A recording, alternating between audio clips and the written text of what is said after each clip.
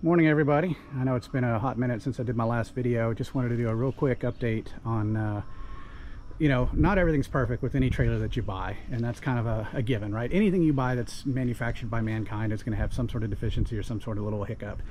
And uh, I've experienced a couple of them at the moment that I wanted to point out to the rest of you guys because I know a lot of people have been commenting that they're about to buy one of these trailers and uh, that's awesome. I mean, these things have been, you know, stellar as far as their performance and, and what I've been able to get out of them. However, there's a couple things that as you buy these uh, to be aware of. They may have these things fixed by the time you get yours. They may not. It just depends. So there's a couple things to look out for. Uh, first thing I wanted to point out that's more difficult to get to is the drain valve. So underneath the trailer, you might see this little bad boy. There is a drain valve that you use to drain the tank, uh, water tank when you need to winterize it and stuff. And if you look up, well, you might not be able to see it, but underneath all of that is a um, uh, shutoff valve. And in fact, it's right here. You can see it. And the problem is, is the shutoff valve, um, there are failures with them. Uh, they're not very common, but they do happen. Um, I spoke to the warranty department. They said that of the trailers they've sold this year, they've had five warranty claims on it. And it may be that uh, people haven't used their trailer enough to know that these things are failing. And, and what happens, uh, and I didn't notice this until I brought it back from my last trip, is that you'll have a slow drip in the back you'll see water dripping off. Now it has to be on level ground to notice it, which is why it's not dripping right now. But uh, when I got back from my last trip, I had it parked out front and I noticed there was a small drip coming out of the back end. So I went and looked at it and that's when I realized, hey, there's a shutoff valve. And if you open the valve, obviously water comes out, which is what it's supposed to, but when you close the valve, it doesn't seat all the way. And so you'll end up with a very slow drip of water. And um, as we all know, water is king. When you're hot, it's, you know, you, you want water. So having that was a problem. So I've, I've submitted a warranty claim. They are shipping me a new um, shutoff valve. Now that has nothing to do with OGT. That's their supplier shipping defective parts and it's not widespread. Uh, apparently this, like I said, only five units so far this year have had this problem. So it's not widespread, but it is something to be aware of. And it didn't happen from day one. Something failed uh, on my last trip that caused it to do that. So given where it's tucked up in there, I don't know, maybe a rock hit it, maybe it just, I don't know. I don't really know why it caused it to fail, but be aware of that, right? You check that as you go out on your trips. If you've got a slow drip, go ahead and submit the warranty claim and get that sorted out. Uh, second challenge that I wanted to talk about are the uh, vent tubes. So if you've got this thing AC prepped, like I do, where you've got these vents here, um, we, we all know this is kind of a design flaw, right? This is something that I asked about when I first got the trailer. I wanted to check and see if it was really a problem. But you notice it's got these little fine holes up inside and there's no filter or anything behind this. So if you're in real dusty conditions like we have here in Texas, you will get fine sand inside the cabin. And if you don't believe me, this is what I noticed from my last trip. Let's see if I can get up in here and show you guys what I'm talking about. See all this fine dust? That all came in through the AC vents. So I have to transport this thing right now without the AC installed because I don't know, maybe I have an earlier version, but it has a tendency to fall out when I'm driving. I know I've got some bolt down points, which I'll be working on. But anyway, when you don't have your AC, all this dust comes into this side of the cabinet. Now, I know this because there's no dust here. So I know it's only coming in from that vent. So I've submitted another warranty claim and basically what they told me is that they recognize that that is a design flaw and they are shipping new units with uh, permanent caps. So they're screwable caps. So I would assume there's something you can screw on here when you're traveling and then you unscrew it, it dangles, whatever. So I'm, I'm on the list to get those. They're getting them from their printers as we speak.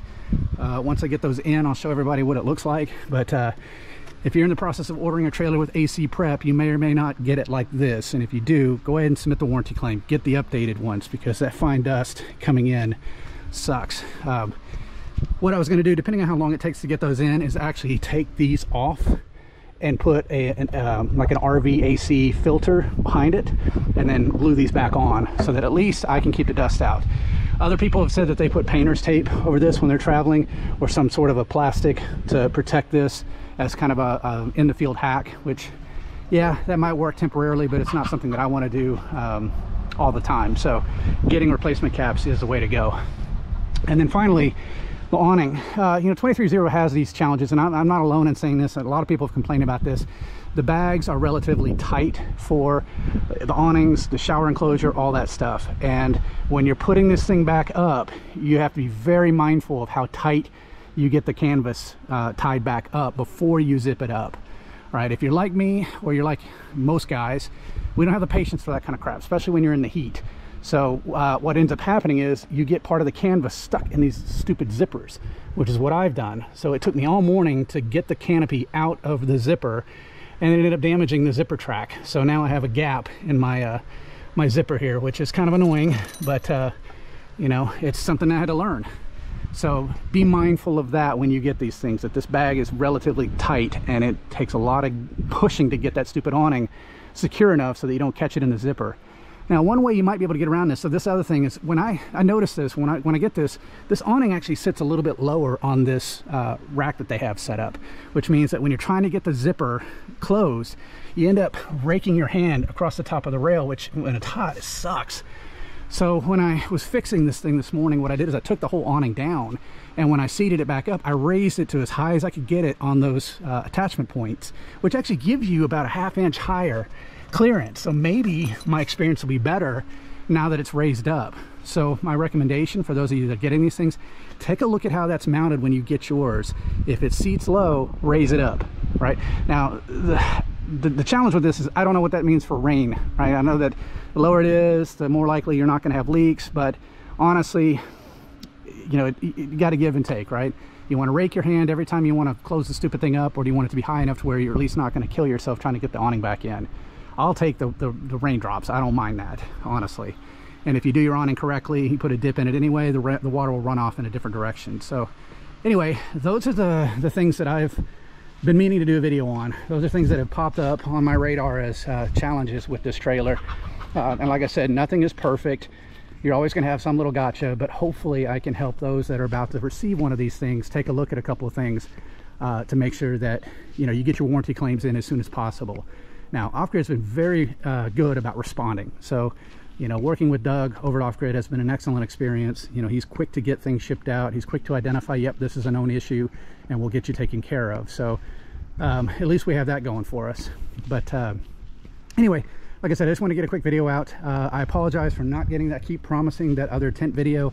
It's been dangerously hot here in Texas and it, there's no sign of it letting up. Like we've literally had consistent 100 to 104 degree temperatures here uh, for about a month now. And uh, it makes it very unpleasant to be outside for any meaningful amount of time, especially when you combine it with, you know, 40 to 60% humidity. It's like walking into an oven. So I'm hoping once we get a, a break, we'll be able to go out and do that and I'll be able to provide you guys that video. But until then, I'll just keep, uh, you know, pointing out certain things and giving you guys better, uh, better idea of what to expect when you receive these trailers. Again, thanks everybody for the subscriptions. Thanks for all the positive comments. I definitely appreciate everybody's attention. Uh, you know, I'm not doing this for money. I'm not monetizing any of these videos. I'm purely doing this so that you guys can get uh, more information about these trailers so that you can make a worthwhile investment. So if you find these helpful, please give me a like. Uh, feel free to sub. Otherwise, uh, I look forward to making the next video for you guys. Thanks. Talk to you later.